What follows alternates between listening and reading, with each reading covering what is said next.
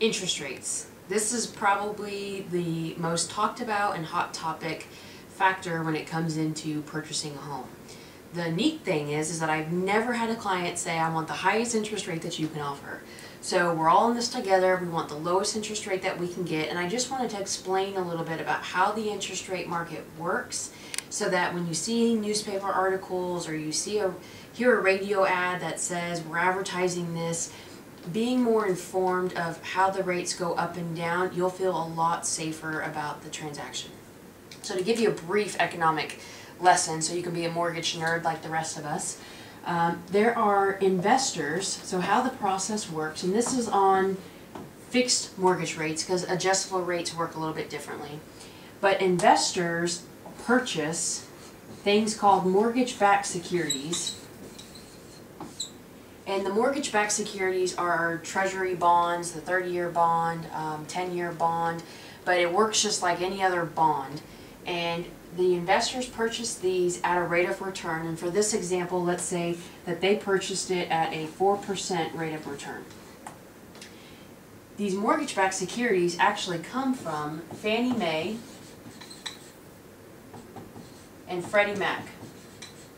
They are the two lenders that issue money and issue the guidelines for banks. It could be any bank. It could be the Sente Mortgage Bank, it could be Wells Fargo, Chase, but all the banks, we'll put the banks here, get their money from Fannie Mae and Freddie Mac. Freddie Mac get their money by these mortgage-backed securities that come from the pockets of these wealthy investors. And that's how it works. So if the investors are spending 4%, then they're going to tack on, let's just call it a servicing fee of 0.25 so now this is at a cost of four and a quarter. Then when they sell the mortgage-backed security to Fannie Mae or Freddie Mac, they add the servicing fee of, let's just say for hypothetically, another quarter. So now the interest rate's at four and a half percent. This means the par rate costing the banks zero amount of money would be at four and a half percent. That's what they would lend to the banks. So do you think the banks Chase, Wells Fargo, Sente, do you think they're going to lend at four and a half percent the cost of what it, it costs them to borrow the funds? Absolutely not. They're in business to make money, and lots of it. So the banks will add their own servicing fee, let's call it again another quarter percent.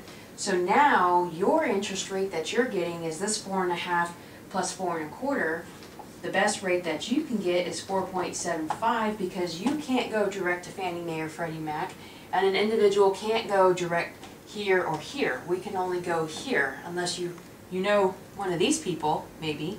That's called a private investor. Otherwise, we all get our money from the same place, which is basically here. So what we do as a mortgage banker, since we're an unbiased lender, we work with several banks and we work with Fannie Mae Direct because our job is to find you the best interest rate. And what that means is we all know what Fannie Mae and Freddie Mac's rates are. They're published every Thursday. So if you want a good starting point, go to Freddie Mac's website, pull up every Thursday what their going rate is. Then know that when we get your loan contract and we have a property address that we can lock an interest rate to, because we can't lock a rate until we have a property, what I do is I take your entire mortgage scorecard, which consists of 26 things. There's literally 26 items that make up your mortgage scorecard. And that scorecard is what we send out to all of our lenders and to Fannie Mae and say, which one of you guys, you have 24 hours, which one of you are going to service the loan at the cheapest cost? Because we know what this is. So they all compete for our business Obviously, as a lender and a correspondent lender, we have a much stronger purchasing power because we do billions of, of loans every year in our five different offices across Texas. Our purchasing power means more to these banks than you, an individual, going into a retail bank that might have your accounts there or you might have done your loan there in the past, but the revenue that they can make off of you, no matter how much money you have in the account, will never be as competitive as a company that does billions of loans. So they fight for your business. We get the top two lenders, let's say hypothetically it's BB&T and, and, and Chase Bank. I've got those two, and then I say, okay, you two are the top two, you got twenty-four hours, who's gonna give us the best deal? And that's how we, at a correspondent lender like Sente Mortgage, whom you've probably never heard of, we don't advertise, we don't market. What we do is we monitor how these mortgage-backed securities are trending. There's another video that talks about how you can see how economic news affects these mortgage-backed securities, which could cause interest rates to go up or down. But as far as locking in your interest rate and how we shop to find you the best home loan and the best interest rate is because we are an unbiased lender that has access to all these accounts.